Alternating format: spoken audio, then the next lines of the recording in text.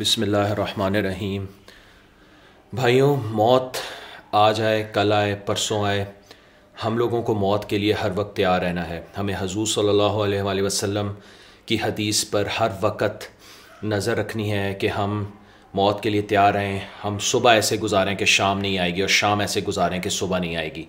Virus आज है, चला जाएगा। जब भी जाएगा, हम लोगों ने अल्लाह सुबहाना हुआ ताला की रज़ा के मुताबिक ज़िंदगी गुजारनी है और इसी में हमारी दुनिया आखरत की कामयाबी है।